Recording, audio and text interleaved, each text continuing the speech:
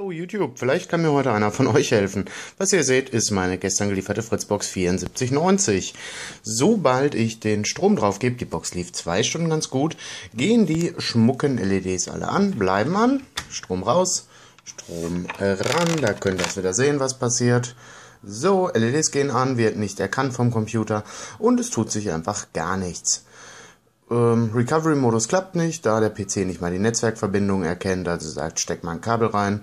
Wenn einer einen Tipp hat, bin ich euch super dankbar darüber. In den Kommentaren bitte posten. Wenn ihr keinen hilfreichen Tipp habt, ist das auch nicht schlimm.